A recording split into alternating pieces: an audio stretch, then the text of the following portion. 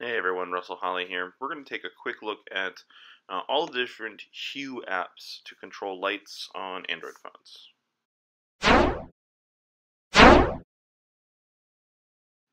What makes the Philips Hue bulbs so cool is Philips has enabled APIs so that developers can reach in and grab just about anything and do what they want.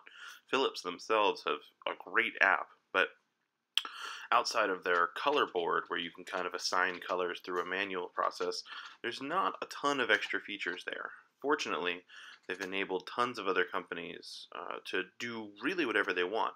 Uh, lampshade.io is a great one. You can take light bulbs and assign them into individual bedrooms, and from that you can go through and just kind of, uh, you know, pick whatever you want for those bedrooms and set up lighting in a very manual fashion.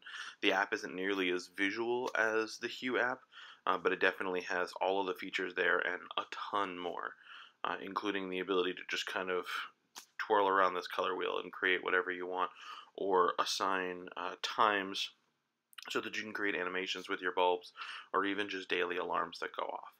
There's also NFC support so that you can take an NFC tag and program it with whatever light controls you want, allowing you to take your phone and just tap it to the NFC tag and the lights in your house will respond pretty much immediately. Um, widgets are another big part of Lampshade.io, and there are plenty to choose from for you to set to control anything that you want. I find it's perfect for quick individual room control.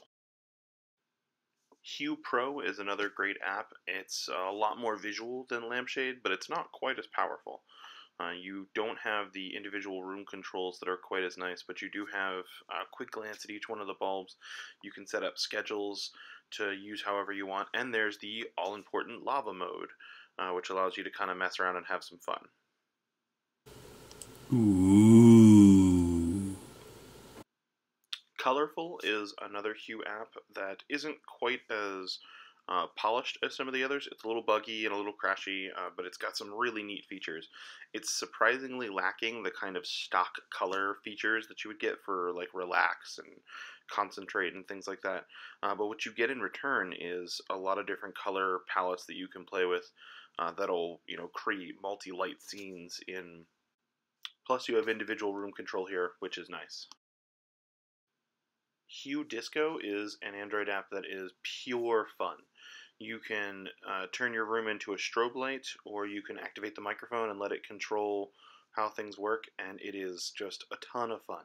You can swipe around on your screen and adjust how the lights strobe, and if you have multiple bulbs, you can even go through and snap your fingers and talk into the microphone, and everything will just kind of work. Hello, hello, hello, hello, hello, hello, hello, hello. So that's been our quick breakdown of some of the Android apps available for the Philips Hue. Thanks for watching.